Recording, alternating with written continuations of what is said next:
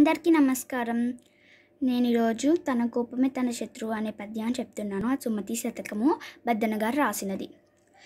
తన కోపమే తన శత్రువు తన శాంతమే తనకు రక్షదయ చుట్టంబవు తన సంతోషమే స్వర్గము తన దుఃఖమే నరకమనృతత్యము సుమతి.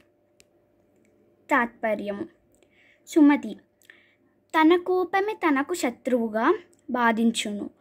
తన శాంతమే తనను రక్షించును. తన దయయే తనకు చుట్టముగా సహాయపడును.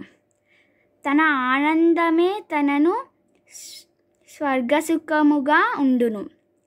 తన దుఃఖమే తనకు నరకము వలె వేదనను కల్పించును. ఇది నిజం. ధన్యవాదాలు